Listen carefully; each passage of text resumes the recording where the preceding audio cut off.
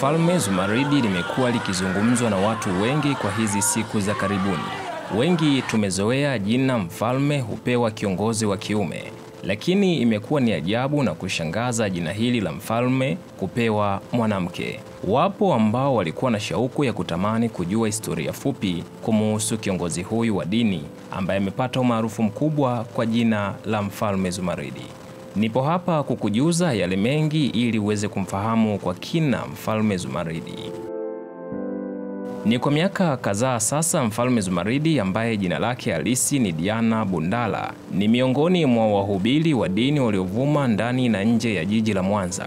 Mfalme Zumaridi mwenye umri wa miaka 39 ambaye pia hujiita Mungu wa dunia amesikika akitoa huduma ya maombezi, mahubiri, hata tiba kwa magonjwa kadhaa anayodai kuwa ana uwezo wa kuyaponya. Ingawa hakuna maelezo mengi kuhusu historia yake, Diana alizaliwa Oktoba 9 mwaka 1983 katika kijiji cha Maganzo, wilaya ya Kishapu, mkoani Shinyanga. Imezoeleka kuona historia ya elimu ya dunia na dini kwa viongozi wa madhehebu mbalimbali, lakini kwa mfalme Zumaridi, suala hili la historia yake na jinsi alivyoingia kwenye masuala ya mahubiri ya dini hadi sasa ni giza nene, kwani licha ya kuendesha ibada zinazohudhuriwa na mamia ya waumini, haijulikani ni wapi alikosoma na kupata mafunzo hayo ya dini. Hata hivyo, kukosekana kwa historia yake hakujamzuia mfalme Zumaridi kuvuna idadi kubwa ya waumini katika kanisa lake lililopo eneo la Iseni jijini Mwanza, ambalo kwa sasa limesitishwa huduma zake na kufungwa na serikali takriban miaka mitatu iliyopita. Kabla ya kufungwa, kanisa hilo lilikuwa likiendesha ibada zake za kawaida za kila siku, zikifuatiwa na maombezi ya kutwa na usiku kucha kwa watu wenye matatizo na mahitaji mbalimbali. Ibada inavyofanyika katika kanisa la mfalme Zumaridi. Matukio Daima tulizungumza na mmoja wa majirani ambaye anaishi karibu na kanisa hilo, naye alizungumza na kutuambia, japo mimi si muumini, naishi jirani na kanisa lake mtaa wa Iseni. Kila siku tunashuhudia waumini wake wakilala chini kifudifudi na yeye kutembea juu yao akiwakanyaga mgongoni hadi anavyofika madhabahuni, alisema Rosemary Paul ambaye ni mkazi wa mtaa wa Iseni jijini Mwanza. Alisema wakati watu wengine wasiokuwa waumini wa kiongozi huyo wanashangazwa na aina hiyo ya mapokezi ya mhubiri huyo wakati wa kuanza ibada yake, waumini wake waliona fahari kubwa pindi mfalme Zumaridi alipopita na kuwakanyaga migongoni mwao. Alisema muda wote kabla ya kuingia kanisani hulindwa na kundi kubwa la vijana wake wanaume waliovalia suruali na tisheti nyeusi, huku juu wakiwa wamevaa mashati na magauni meupe na tai nyeusi. Wao wanawaita vijana hao ni askari makelubi na maselafi, alisema Halima Jumanne, jirani mwingine anayeishi eneo la Iseni. Zawadi ya kuchinja ng'ombe.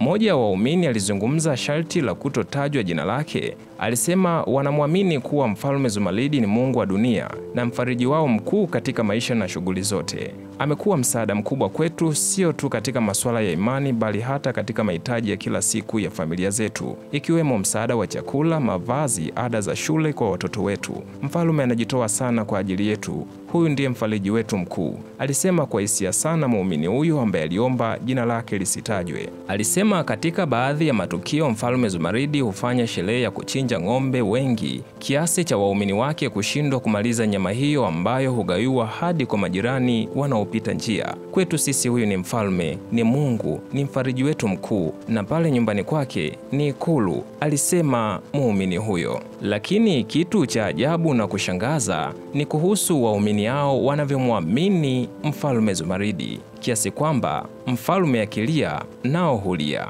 Pamoja na kujipanga mstari wawili wakati wa kupokea na kuagana na mfalme wao, waumini hawa hutakiwa kucheka, kutabasamu na kulia kila mkuu wao anapofanya hivyo. Kuna siku nilihudhuria ibada pale kanisani baada ya sifa za mfalme Zumaridi kuenea na kuwa na uwezo wa kuponya maradhi mbalimbali. Nilikuwa na mtoto mgonjwa aliyeugua kwa muda mrefu, nikaamua kumpeleka pale, lakini nilikosea taratibu za ibada hadi wazee wa kanisa wakanijia na kunihoji iwapo mimi ni mgeni, alisema Yohana Emmanuel, mkazi wa mtaa wa California Nyegezi jijini Mwanza. Alisema baada ya kupelekwa pembeni na kueleza kufuata matendo yote ya kiongozi huyo kwa kucheka, kutabasamu au kulia pale anapofanya hivyo. Tangu siku ile sikurudi tena kutokana na nilivyoshuhudia, ikiwemo lile la waumini kulala chini na kiongozi kupita juu yao kwa kuwakanyaga migongo yao, alisema Yohana. Serikali kusitisha ibada katika kanisa la Mfalme Zumaridi. Ni Novemba 18 mwaka 2019, serikali kupitia aliyekuwa mkuu wa wilaya ya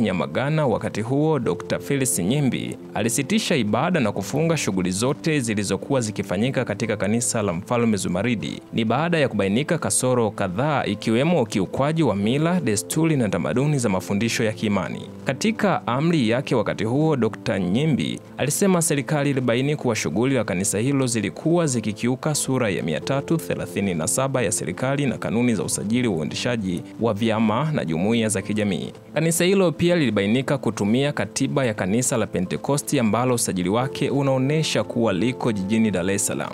Eneo lingine lililoleta ukakasi kwa serikali kufikia uamuzi wa kusitisha ibada na kulifunga ni kitendo cha kiongozi huyo kujiita Mungu wa dunia huku akijitambulisha kama mfalme wakati yeye jinsia yake ni kinyume na mila, desturi na tamaduni zinazotambulika kwa watawala wa kimila wa kike kama malikia. Ibada kuhamia nyumbani. Baada ya serikali kusitisha ibada na kufunga kanisa, Mfalme Zumaridi alihamisha shughuli zote nyumbani kwake mtaa wa Bugugu, eneo la Malokani jijini Mwanza.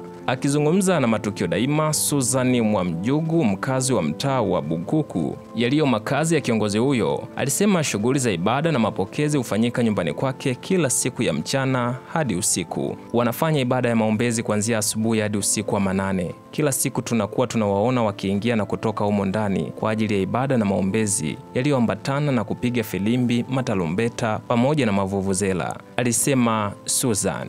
Wengi wameanza kumfahamu Mfalme Zumaridi baada ya kukamatwa na kutiwa mbaroni na jeshi la polisi. Baada ya video ile ambayo ilikuwa inamuonesha askari wa polisi walioingia nyumbani kwa Mfalme Zumaridi wakisongwasongwa na askari makelubi na maselafu waliomlinda kiongozi huyo, jeshi la polisi lilitangaza kumtia mbaroni kiongozi huyo kwa kumhoji kuhusu tuhuma kadhaa ambazo ikiwemo usafirishaji haramu wa binadamu. Kamanda wa polisi mkoa wa Mwanza Ramadhani Ng'azi alisema Diana anashikiliwa na waumini 149 waliokutwa nyumbani kwake. Pia anatuhumiwa kuendesha shughuli za ibada ya maombezi kinyume na sheria. Tuhuma nyingine inayomkabili ni kuwafungia waumini wake nyumbani kwake na kuwatumikisha kinyume na sheria. Huko eneo la mtaa wa Bukugu, kata Buhongwa, wilaya Nyamagana, jeshi la polisi mkoa wa Mwanza lilimkamata huyo mtu ambaye anaitwa Diana Edward Bundala au maarufu Mfalme Zumaridi mwenye umri wa miaka 39. Huyu kazi yake alikuwa mchungaji wa kanisa hilo la Zumaridi na ni mkazi wa hapo hapo Buhongwa kwa kosa la usafirishaji wa watu wengi ambao ni binadamu e, wa, e, kwa kosa la usafirishaji wa binadamu wapatao 149. Mtakumbuka juzi tarehe 23 mwezi wa pili mwaka 2022 polisi hapa jijini Mwanza walipokea amri ya mahakama kwenda kumkamata mtoto ambaye anaitwa Samiri Ali Abbas aliyetakiwa kufikishwa mbele ya mahakama ya mwanzo ya pale Makuyuni kwa kosa eh, kwa kosa la kutofikishwa la kutokwenda shule eh, baada ya yeye mtoto kutoroshwa na mama yake. Kwa hiyo mahakama ya mwanzo ya Makuyuni ilitoa amri ya kumkamata huyo mama ili akatoe sababu za kwa nini alimtorosha mtoto wake kutoka katika eh, haki yake ya kupata elimu na kumtorosha kusikojulikana. Kwa hiyo polisi walichofanya ni kumtafuta huyo mtoto pamoja na mzazi wake, na waligundua kwamba wamehifadhiwa katika nyumba ya huyu mfalme Zumaridi, na polisi walipofika pale e, walimtafuta huyu kiongozi wa nyumba hiyo mfalme Zumaridi na kumtaka msalimishe mzazi wa mtoto huyo, lakini e, alikataa kufanya hivyo na kwa, kwa kuwa polisi walikuwa wachache, basi jana waliongeza nguvu na kwenda kumkamata mfalme Zumaridi, lakini polisi waligundua ndani ya nyumba hiyo kuna watu jumla ya 149 zaidi ya 149 na wenyewe walikuwa wanaishi pale. Hivyo basi eh, polisi walimkamata huyu mama na kumfikisha hapa kituo cha polisi kwa mahojiano. Lakini vile vile kuna watoto ambao wana umri kati ya miaka minne mpaka kumi na saba na wenyewe walikuwa wakishikiliwa hapo na mkiangalia umri huu wa watoto kutoka miaka minne au kumi na saba watakiwa katika eh, madarasa mbalimbali wakipata elimu, lakini kwa siku ya jana mtaona kwamba walikuwa wako pale na wamefungiwa kwa muda mrefu, na tulipowahoji wazazi wako wapi, hawa watoto hawakuweza kueleza vizuri wazazi wako wapi. Kwa hiyo tunafanya uchunguzi wa kina, ni kwa nini eh, huyu mama anawashikilia watu wengi katika nyumba yake na mkusanyiko mkubwa kama huo bila kibali chochote, wakifanya ibada eh, katika nyumba na makazi ya huyu mama. Lakini vile vile eh, e, mama tutakamilisha upelelezi wa kuwazuia askari wasifanye kazi ambayo walikuwa wame, wameamriwa na mahakama kwenda kumchukua mzazi wa yule mtoto Samir. E, alizuia huyu mama, kama mtaona, alikuwa amesambaza clip akiwafanyia e, hadaa askari wetu. Nitoe wito, jeshi la polisi liko hapa kisheria, na kwenye kutimiza majukumu yake tutatimiza majukumu hayo kisheria. Hatutamwonea mtu wala kumkandamiza mtu yoyote, lakini mtu yoyote ambaye atathubutu kucheza na jeshi la polisi ambao ni chombo cha dola, hatua kali zitachukuliwa dhidi yake. Kwa huyu mama tutakamilisha upelelezi haraka iwezekanavyo na tumfikishe mahakamani, kwanza kwa kuwazuia askari kufanya kazi yao, lakini pili eh, kuwakusanya watu wengi wakiwemo watoto wadogo kati ya umri wa miaka minne mpaka kumi na saba isivyo halali yoyote. Katika orodha ya waumini waliokutwa wakiwa wamefungwa nyumbani kwa kiongozi huyo wa dini ni wanawake tisini na wawili, wanaume hamsini na saba, miongoni mwao wakiwemo watoto ishirini na wanne wenye umri kati ya miaka kumi na misaba. Bila shaka kipindi na kukumbusha historia fupi inayomuhusu mfalme Zumaridi, ulikuwa ukisikia neno makelubi na maselafi likijirudia. Akizungumzia walinzi wa mfalme Zumaridi waliojiita askari makelubi na maserafu, Askofu Sekelwa alisema kiimani hao ni viumbe aina ya malaika wanaozunguka kiti cha enzi cha Mungu ambao kama kwa jukumu lao wanamwabudu na kumsifu Mwenyezi Mungu. Kiimani makelubi na maselafu wako mbinguni na si kuja duniani. Mafundisho au madai kwamba wanashukia wanadamu ni jambo lisiokuwepo katika mafundisho yote ya kidini, alisema Askofu Sekelwa. Bila shaka, mtazamaji na mfuatiliaji wa Matukio Daima, hadi hapo ulipofika, walau umepata kwa uchache wake kuweza kumfahamu Mfalme Zumaridi. Licha ya video mbalimbali kusambaa katika mitandao ya kijamii, yapo mengi ambayo yanamhusu Mfalme Zumaridi. Hayo ni machache kati ya mengi ambayo nimekuandalia uweze kumfahamu kwa kina Mfalme Zumaridi. Jina langu ni Zakaria Nyamoga wa Matukio Daima, ndiye ambaye nilikuwa nakupitisha katika historia hii fupi ya Mfalme Zumaridi.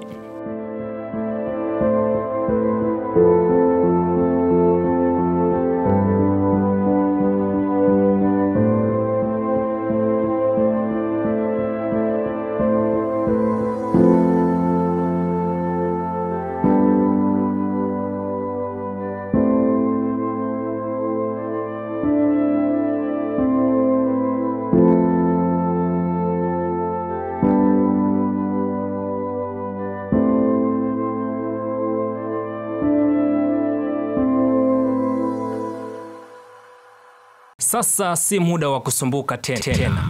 Akudo Makoba ni mkombozi wako kwa school bags, Brevo bags, Swaga bags na kadhalika. Fika dukani kwetu Akudo Makoba, eneo la stendi kuu ya zamani, jengo la halmashauri ya Iringa, au piga simu namba 0715188280 au barua pepe akudo makoba at gmail.com. Muda wa kusumbuka umekwisha. Hapa ni mikoba viwango, bei ndogo zaidi.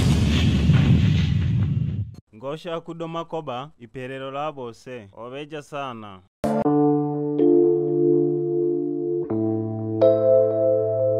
Mwanangu anatamani sana kuwa fundi, ila sijui ni chuo gani bora hapa Iringa kilichosajiliwa na VETA ili nimpeleke. Mama Sikitu, acha kusumbuka. Mwanangu Vikasa ni amepata elimu yake ya ufundi chuo cha RDO na leo ameweza kujiajiri na kaajili vijana wengine kwenye ofisi yake. Anatengeneza pesa wewe, usipime.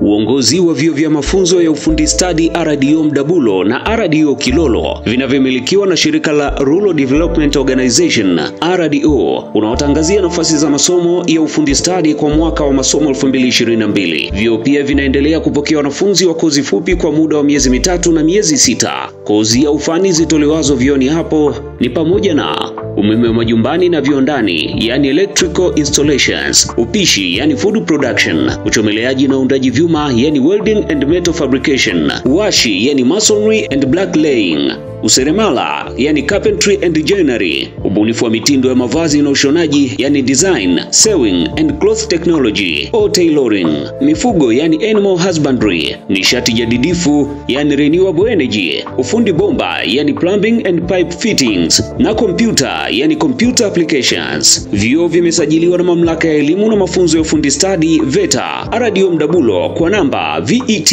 mkwaju IRA mkwaju FR mkwaju 2020 mkwaju C mkwaju 115 na RDO Kilolo kwa namba VET mkwaju IRA mkwaju PR mkwaju 2019 mkwaju C mkwaju 106. Fomu za kujiunga na vyuo zinapatikana maeneo yafuatayo kwa shilingi elfu kumi tu: chuoni RDO Mdabulo, RDO Ibwanzi na RDO Kilolo, kituo cha RDO Mafinga Kinyanambo, kituo cha RDO Malangali na Village Centers Isele, Nandala, Mapanda, Itona na Mpanga Tazara. Kwa maelezo zaidi wasiliana nasi kwa simu namba 0757 351 837 au 0752 251 568 au 0765 488 567. Ngoja nikajaze vocha ni watafute sasa hivi. Radio Mdabulo na Radio Kilolo tunasema ufundi ni taaluma inayoishi.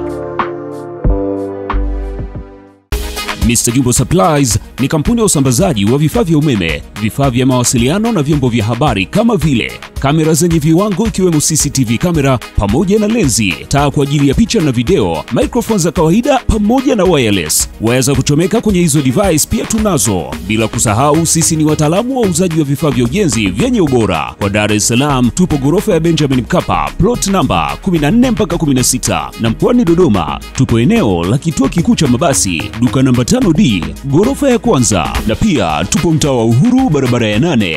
Wasiliana nasi kwa simu namba 0754259771 au 0746801111 na 0739112011. Mr. Jumbo Supplies. We are your innovation partner. Easy.